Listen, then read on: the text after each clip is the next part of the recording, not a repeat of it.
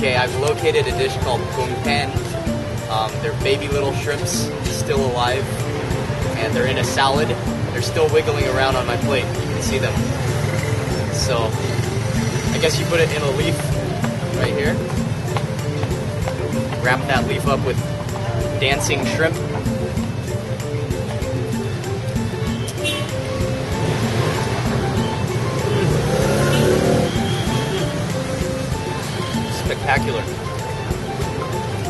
Salty little raw shrimp, still wiggling around.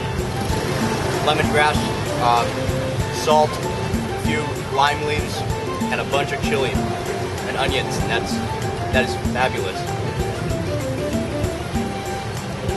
I like that. That's wonderful. Have to try that out in Thailand.